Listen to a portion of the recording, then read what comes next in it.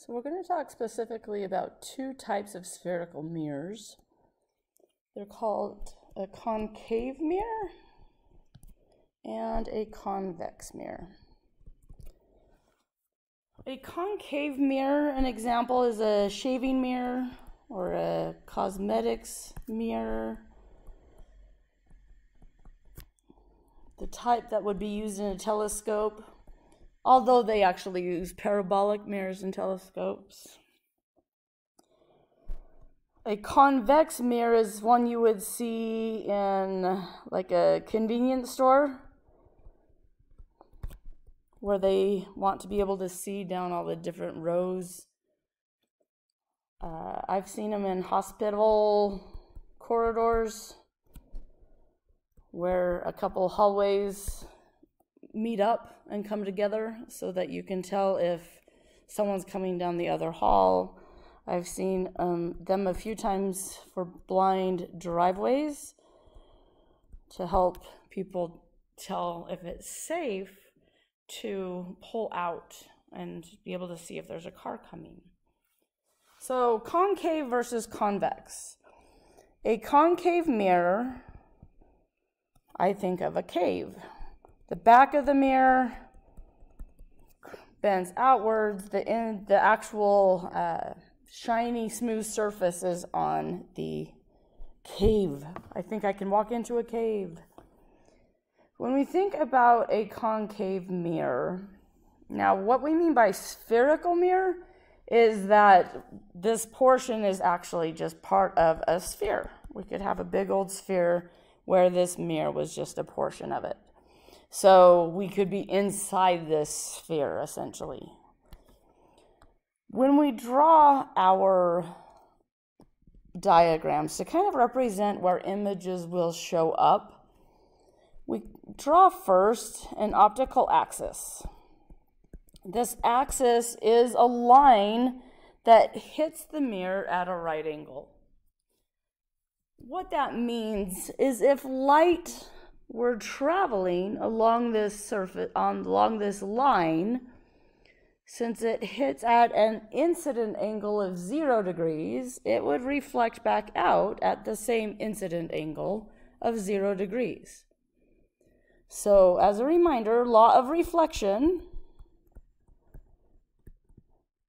the incident angle so the angle between the normal and the light ray representing the direction the light is coming from must equal the reflected angle.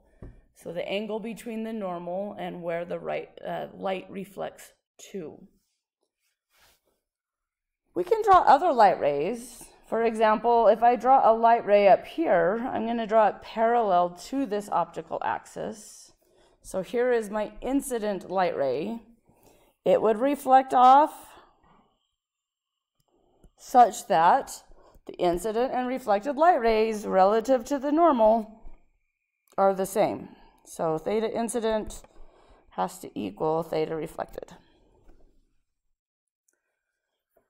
If I draw another light ray, actually let's go with a different color. I'm going to draw this one parallel to the optical axis as well, just down lower.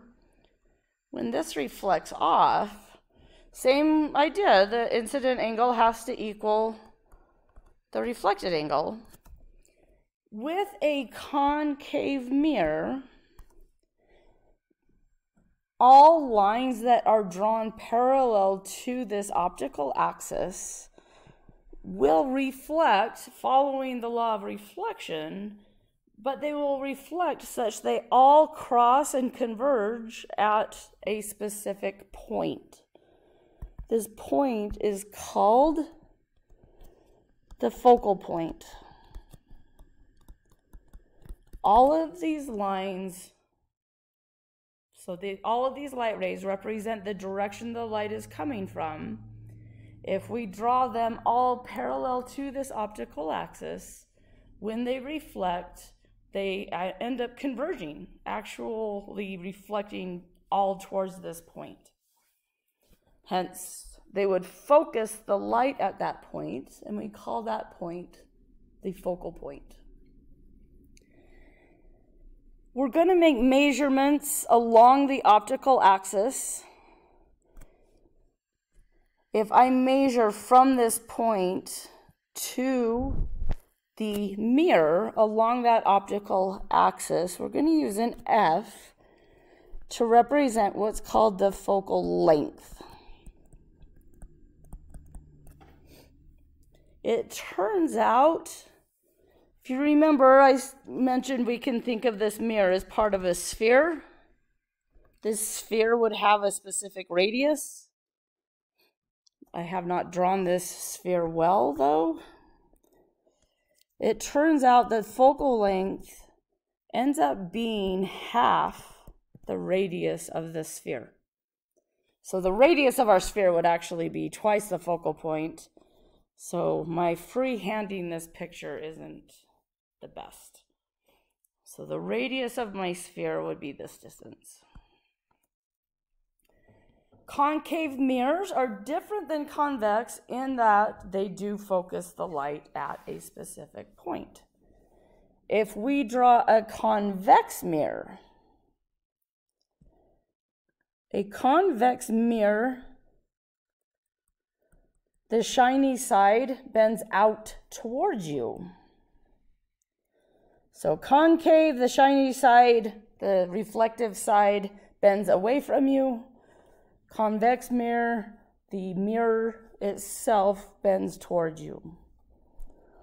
Mirror bends toward you.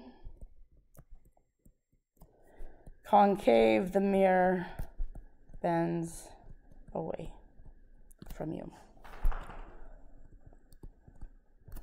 And just a silly way I remember it, I think of a cave. A cave is something I can walk into. I don't know if that is helpful for you or not, but there you go. So, with this convex mirror, with it bending towards us, we still will draw this optical axis. We will end up drawing this in all of our situations. That represents any light coming in along the optical axis is going to reflect out along the same line. If I draw a light ray that's parallel to the optical axis, it obeys the law of reflection and it is going to reflect out where the incident angle and the reflected angle are equal. If I draw another line that's parallel, same idea, incident angle has to equal reflected angle. Now notice these reflected light rays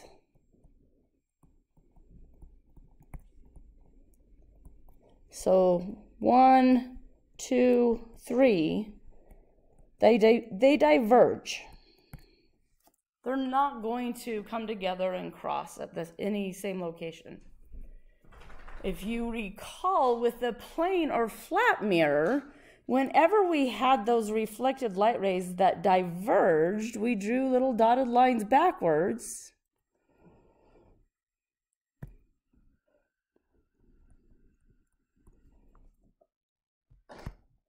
If I do that here, they all appear to converge at this point behind the mirror. This is considered a virtual focal point. It's virtual simply because those light rays did not actually pass through the mirror and converge there. It's because we had to draw those dotted lines to see where they would converge hence it's virtual. The focal length, we're going to measure along the optical axis between these two points, we will call the focal length. Mathematically, when we solve problems, we have to use a negative value. And that's because it's virtual.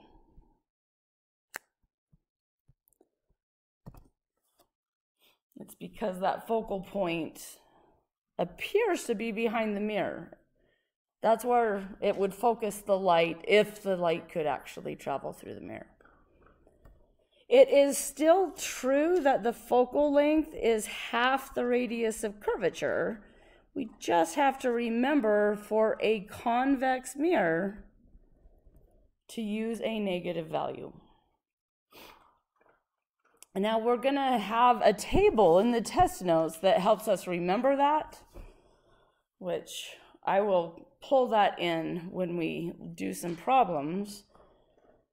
That table, though, has information for both mirrors and lenses. So just make sure you're looking for mirrors right now while we're dealing with mirrors. So as we solve problems, we end up with a couple of equations. 1 over the focal length has to equal 1 over s plus 1 over s prime. s is an object distance. So we're going to walk through a few scenarios in terms of putting an object somewhere and estimating with light rays where the image will appear to be. So we talked about S being object distance. So I'll write it in the middle. We talked about that when we talked about the plane mirror or flat mirror. S prime is image distance. These distances are all measured along the optical axis that we drew measured from the object to the mirror, the image to the mirror, the focal point and the mirror, which we call that the focal length. This equation is technically called the thin lens equation. We're going to talk lenses as well. It is derived assuming that the light does not travel through any significant thickness I don't know if you've ever looked closely at a mirror. It's a piece of glass over a thin, smooth surface. So we're assuming that piece of glass is extremely thin.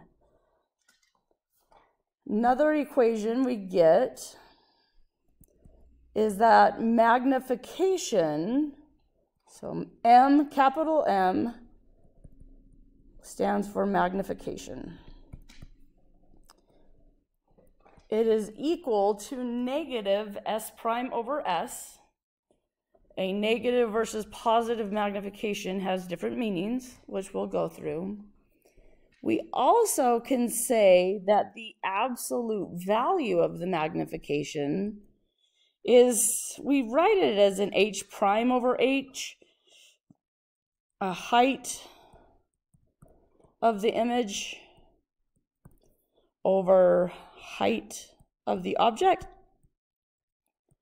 Though it doesn't technically need to be the height. I mean, if you're looking at a person, it could be like the width of their shoulders in their actual human self versus the width of their shoulders in the image. So even though we say height, it can be any dimension of the object versus image compared to each other. So we'll walk through those as well. Let's look at these though. Let's look at a ray diagram talking about a convex mirror first. Mainly because it's the simplest. So again, anytime I draw a diagram, I'm going to draw this optical axis. What we mean by that is it hits the surface of the mirror at a right angle. Any light traveling along that axis would come in and reflect back along that same line. So if I drew light coming in, it reflects back on the same light. Optical axis. Now I'm going to draw the focal point back here. If you remember let me scroll just a sec. coming back on this ray diagram, when we drew all of those, well, those three lines, all parallel to each other, all parallel to the optical axis, those lines diverged, but then we drew those dotted lines back to this point where they appear to converge. Okay, so that's what I'm drawing on this optical axis. And if we want, we can put negative f so that we remember it needs to be a negative value when we use the equations that I wrote down above. Now to estimate where an image is going to be, we can draw a couple light rays, but we need to draw something that represents the object. It's pretty common to draw, come back here, an object that is an arrow. My object distance will be from the mirror along the optical axis to this object. We would call that S, the object distance. Now the base of the arrow is on the optical axis. The tip of the arrow goes up higher. This object has a certain height to it, and it is up and down height in this case, just because of how I've chosen to use an arrow, and that's sorry for the scribbles. Now, to estimate where the image will be, we have to draw at least two ray rays, light rays. Again, the light rays are just the arrows representing the direction the light is traveling in. One of the light rays I'm going to draw, I'm going to go parallel to the optical axis. And as we've already seen, I know it reflects such that if I draw a dotted line backwards, it goes through that focal point. So that is one of my light rays. My image is going to show up somewhere along either the actual reflected light ray or the dots going backwards, depending upon if the multiple reflected light rays diverge. Okay, my second one I'm going to draw is I'm actually going to come to that optical axis I'm drawing both of these from the tip of the arrow so that the where they either cross or appear to cross will represent the tip of the arrow. All right. So comparing these two reflected light rays, they diverge.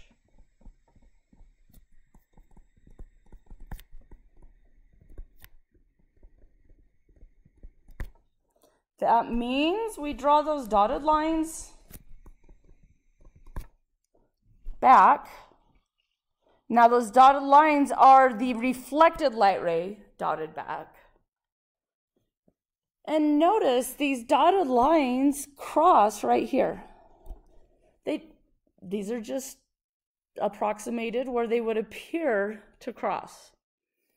Since I drew my arrow and my light rays coming from the tip of my object arrow, where these lines appear to cross has to be the tip of my image arrow. And the base always goes down to the optical axis if that's where we had the base of the object. Now this is a virtual image specifically. It's virtual because we had to draw these dotted lines to figure out where those reflected light rays would appear to cross. This image is not inverted. Just like looking in a bathroom mirror, we see ourselves normal. Our head's on top, our feet are on bottom, that may seem totally a no duh to you at the moment, but you'll see when we get to the concave mirror that we do get upside down images We call them inverted images, depending upon where the object is located. So this image is virtual. It is not inverted, which we also sometimes call upright. And this image, if we pulled out a ruler and measured the height of this image, it is smaller than the actual height of the object. With a convex lens, sorry, convex mirror, we will be talking lenses a little bit later. These, this is always the result of our images. Our images are always virtual with a convex mirror. They are always not inverted or upright with a convex mirror. They are also smaller than the original object. And you quite possibly have seen this before. If you go into like a gas station, a lot of times, so go into a Maverick, for example, a lot of times they will have a mirror up on the wall, like up in the corner. Because the image in the mirror is smaller, it actually gives you a larger field of view. You can see more of the store through in that mirror than if you had put just a flat mirror up. So it allows for a larger field of view, and you can watch down the different aisles. Look for those that are trying to stuff stuff in their pockets or just watch what's going on. So convex mirror is unique in this regard. We're also going to talk about the concave mirror. Now, with this convex mirror, this is always the case for the images, regardless of how far away the object is from the mirror. We end up with a different situation with the concave mirror. We can still draw the mirror, draw an optical axis, and again the optical axis is hitting the mirror at a right angle. If I draw the focal point on here, I can also draw the dot that represents the radius of curvature as well. It turns out because this focal point is on the side of the mirror that you would stand on to look in it, we can put the object at a variety of locations relative. We could put the object here, here, or here. And so that's what we want to look at is depending upon where we put the object, we're going to get and see different images. Okay, so I'm going to approach this similar to the convex mirror. I'm going to draw an arrow. This arrow represents my object. Oh, I forgot to mention the image distance. Pardon me while I scroll up here really quick. In my picture, image distance would be between where this image appears to be and the optical axis.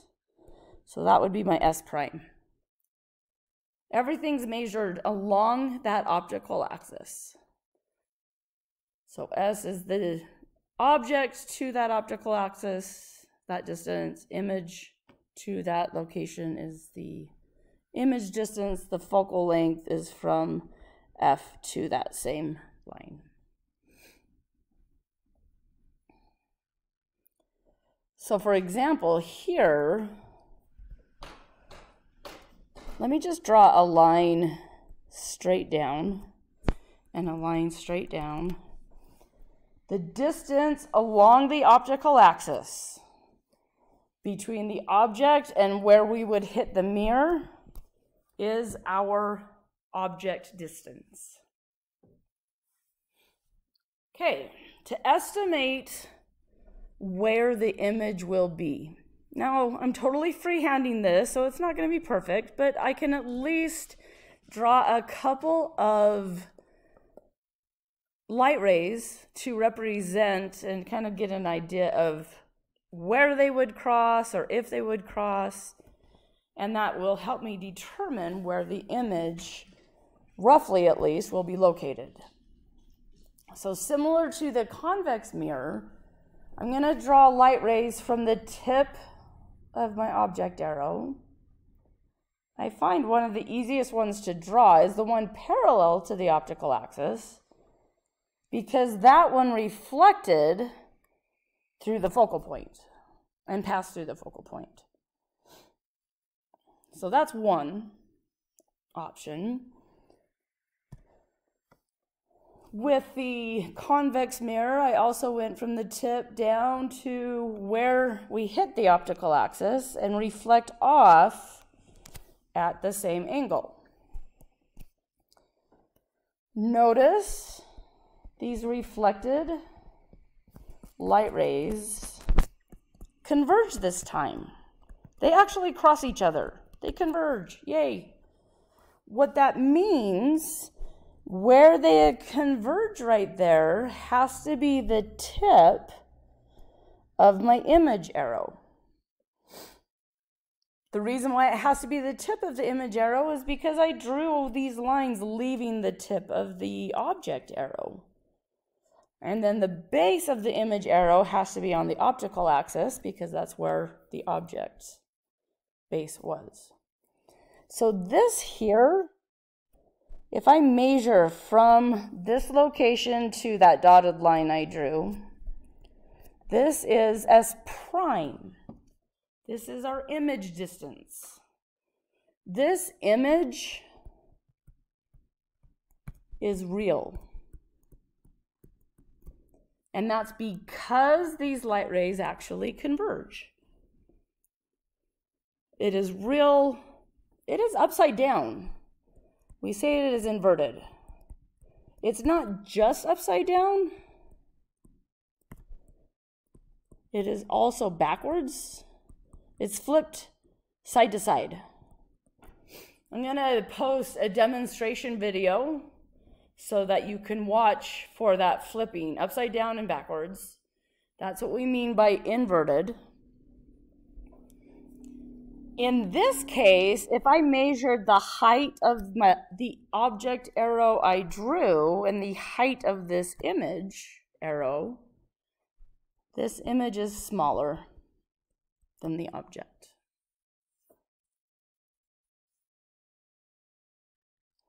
Now this, this result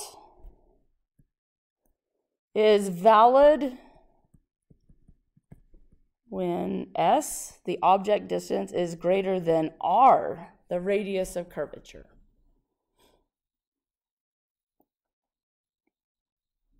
You don't need to memorize these things.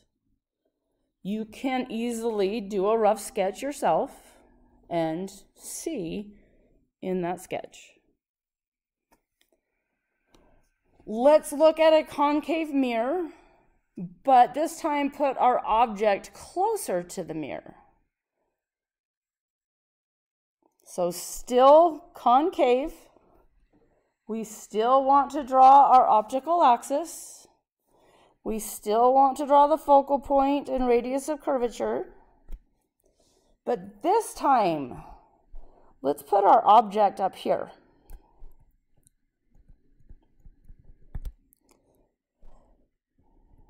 So if we measure along the optical axis from here to here, that is our object distance. I'm just dotting those lines down so I'm not messing with the space up closer to F. So that S represents the distance from the object itself that I've drawn along that optical axis until I would hit the mirror. Okay, let's draw a couple rough sketches here. I'm going to draw my light ray that goes parallel to the optical axis, and then it reflects through this focal point.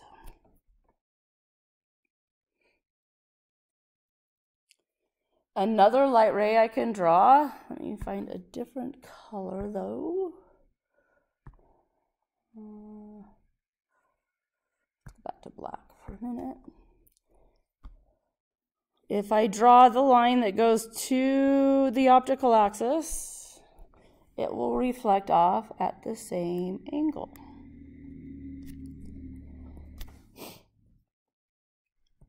Let me draw this red one farther. We'll kind of change direction a tiny bit, sorry. These be reflected light rays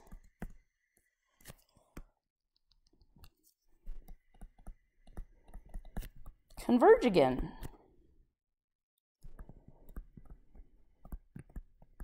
They actually come together and cross. So let me lengthen my optical axis. Where they cross right here has to be the tip of my image arrow because I drew the light rays leaving the tip of my object arrow. Image. The distance from where this image shows up over to here the same as measuring along the optical axis, would be S prime, the image distance. S prime is bigger than S. This image appears to be farther away from the mirror than the object is. So let's see what we have that's a little bit different. Over here, S prime was smaller than S, our image was inverted, it was upside down and backwards, it was smaller. Here, this image is real. It's real because these light rays converge.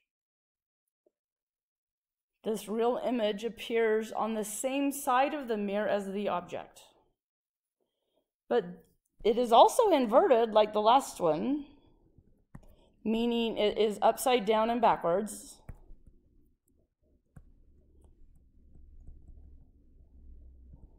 Right, we see this arrow in the image pointing down, where for, whereas for the object it was pointing up.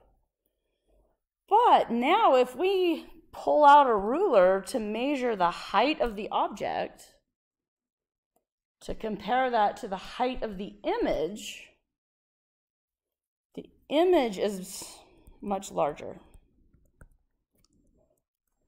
than the object. This is true for our concave mirror if S is smaller than R but bigger than F. Right? My object was placed between my radius of curvature and my focal point. I put it closer to the focal point than the radius of curvature. All of this will be true if our object is located between the radius of curvature and the focal point of our mirror. Which again, you don't need to memorize. We can totally do a rough sketch and see that. This real image technically could be projected on a screen if we wanted to. It would need to be a really nice mirror, though, to make it a clear image. Okay, we have one more option. We can still have a concave mirror, but we can place our object closer to the mirror than the focal point. So same general approach a mirror, an optical axis, draw my focal point, draw my radius of curvature. This time I'm putting my object in here.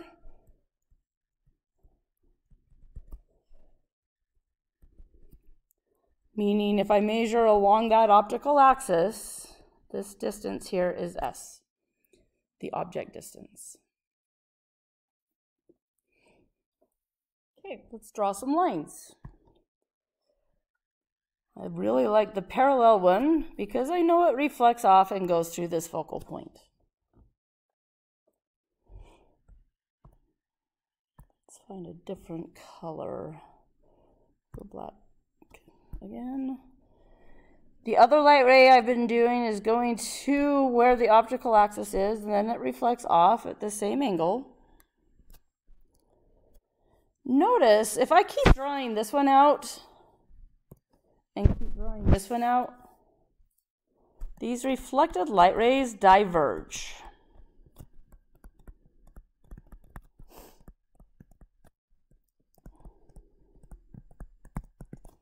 They don't come together. They're not going to cross. Anytime we know they diverge, we have to draw these little dotted lines back behind, behind the mirror.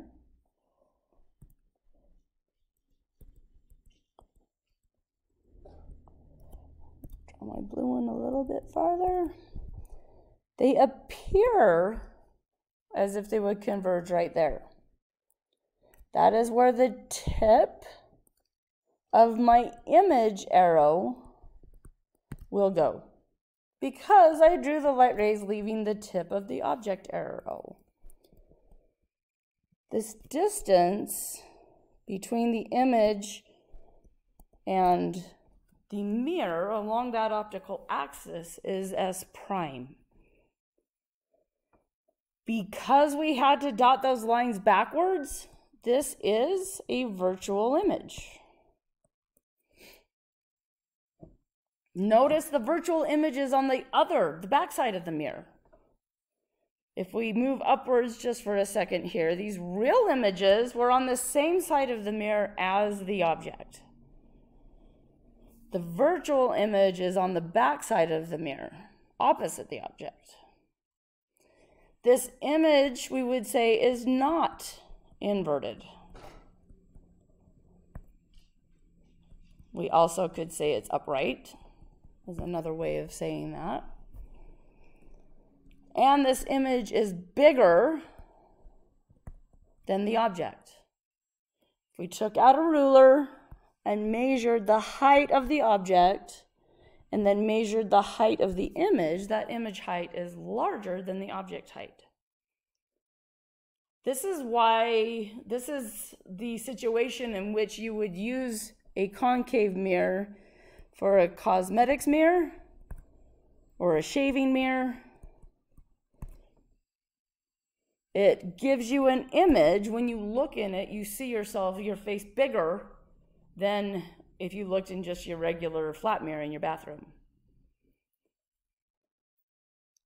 This result is true for a concave mirror when S is less than F. If I were to draw F, that distance, it would be that horizontal distance from the focal point to the mirror along the optical axis. The distance of our object is smaller than that. And this is the result. Again, it's not hard to freehand a couple light rays to get an idea of where your image will show up.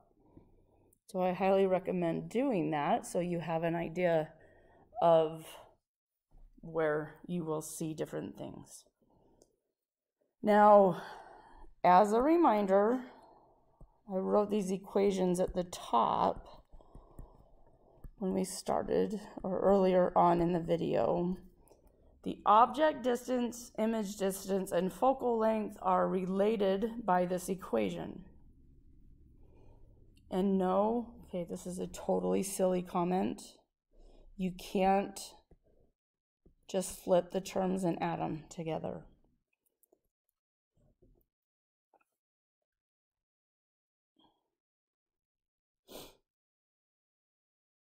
Our other equations, magnification, negative s prime over s, absolute value of magnification, h prime over h. I want to show you one other thing that I'm going to pull from our test notes. When we talk about a virtual image being upright or not inverted versus inverted, what we mean by bigger, smaller. there's a handy table in our test notes that I highly suggest you keep handy as we look at problems. I'm going to go grab it though so I can show that to you. All right, so this is just from your test notes. This has information about lenses on it as well, which we're going to talk about next. But for now, mirrors, let's get a different color. Mirrors mirrors, mirrors. Magnification um, is the same whether we're talking mirrors or lenses in terms of the magnification and the sign. So mirror radius r, which also takes us to mirror focal length, which is half the radius of curvature, a concave mirror has a positive focal length. A convex mirror has a negative focal length. Image distance, S prime. Real images show up on the same side, same side as the object. So same side of the mirror as the object. If you go back to your picture for our concave mirror when we had our object outside, bigger, farther away from the focal point, that real image showed up on the same side as the object. Same side means an S prime that is positive.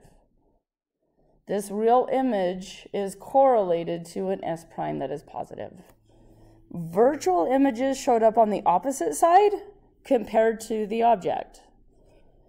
That's a negative sign. This is a good check for when you are solving problems. When you solve a problem and you know you should get a virtual image, you should be looking for a negative answer for S prime. Okay, so it's not the number line. It just means virtual, which means opposite the side of the object. The magnification m. So if we use the equation negative s prime over s, we can get positive or negative answers. If we get a positive magnification, that means the image itself is upright or not inverted. If our image is inverted, that means we would come up with a negative answer for magnification. Or if we come up with a negative magnification, we thus would know that the image is inverted. Okay. Quite honestly, it's these signs that are typically the most challenging part of this section. It is not related to a number line. It's not related to a specific coordinate location on a number line. The plus and minus has to do with real and virtual, how those light rays are converging or diverging. Now, the reason we have lenses listed separately is we end up, for example, on the image, a real image shows up on the opposite side instead of the same side. But a real image is going to still mean positive. So keep this, it's in your test notes, keep this uh, table handy while you're solving problems, and you sh should be able to find it quite helpful. We'll do some examples as well, so help you make sense of everything. And then we'll move on to lenses with refraction.